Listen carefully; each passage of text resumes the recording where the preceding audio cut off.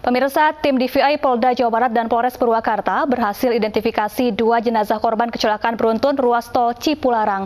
Data Polda Jawa Barat, 8 orang tewas akibat tabrakan beruntun di tol Cipularang, Purwakarta, Jawa Barat. Kecelakaan maut ruas tol Cipularang kilometer 91 memakan puluhan korban yang harus dilarikan ke tiga rumah sakit, yaitu Rumah Sakit Bayu Asih, Rumah Sakit Siloam, dan Rumah Sakit MH Tamrin Purwakarta. Rumah Sakit MH Tamrin menerima 31 korban, 24 korban luka, dan 7 korban meninggal dunia. Sementara satu korban meninggal lainnya berada di Rumah Sakit Siloam. Tim DVI Polda Jawa Barat dan Polres Purwakarta berhasil identifikasi dua jenazah korban kecelakaan beruntun ruas tol Cipularang, yakni Endi Budianto Gunawan, usia 63 tahun, dan Dedi Hidayat, usia 45 tahun. Dari 31 korban, 5 di antaranya sudah diperbolehkan pulang dan 19 masih dalam proses perawatan. Satu di antaranya masih di dalam ICU karena mengalami luka bakar 30 persen. Uh, baru dua yang teridentifikasi dari sidik jari, yang yang satu lagi masih berlangsung, kemudian yang empat karena sudah sulit uh, untuk secara fisiknya, jadi kami kirim sampel DNA-nya ke Pusdokes menunggu nanti hasil dari Pusdokes Mabes Polri di lab DNA-nya. Dua, kemudian dari itu dari sidik jari ya. Kemudian satu masih berlangsung, terus yang empat baru kami ambil uh, DNA-nya. Identifikasinya sedang berlangsung, uh, jadi kami nanti uh, bekerja sama juga dengan uh, bagian identifikasi uh, Polres uh, Purwakarta uh, diambil dari sidik jari kemudian kami juga udah ambil sampel DNA uh, untuk kami kirim ke laboratorium DNA Pusdok. Untuk mengetahui kondisi terkini korban tabrakan beruntun, kita sudah terhubung dengan Bunga Ayu, langsung dari Rumah Sakit MH Tamrin Purwakarta, Jawa Barat. Bunga, bagaimana kondisi para korban yang masih dirawat di rumah sakit saat ini?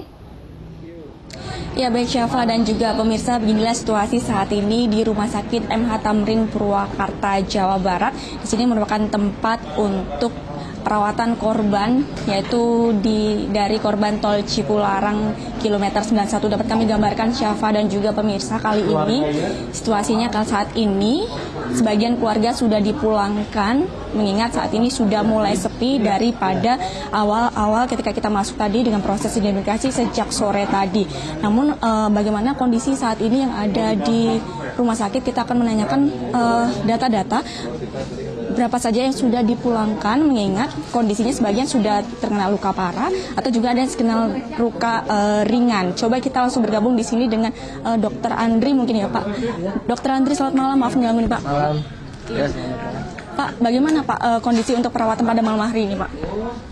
Pasien-pasien uh, semuanya sudah masuk rawat inap. Total ada 10 yang rawat inap, 11 rawat jalan, dan dua rujuk. Dua rujuk satunya memang atas permintaan keluarga ingin dirujuk, satunya karena butuh dokter bedah saraf. Kemudian dokter uh, dari pasien yang rawat inap ini didominasi dengan keluhan seperti apa dok?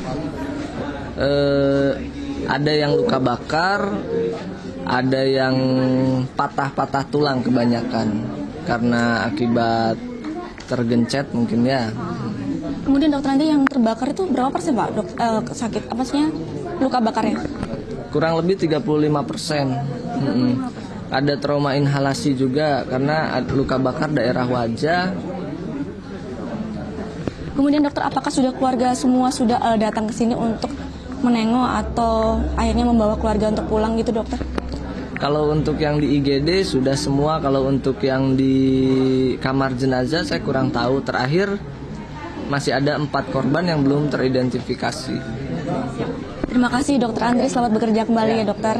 Ya baik Syafa dan juga pemirsa memang menilai situasi saat ini hingga malam hari sebagian pasien juga lang bisa langsung dipulangkan dan kami dapat informasikan langsung tim DVI Polda Jabar dan juga uh, Inafis Polres Purwakarta sudah berhasil mengidentifikasi tiga jenazah dari tujuh jenazah yang sudah dimasukkan di Rumah Sakit M. Tamrin dan satunya ada di Rumah Sakit Siloam.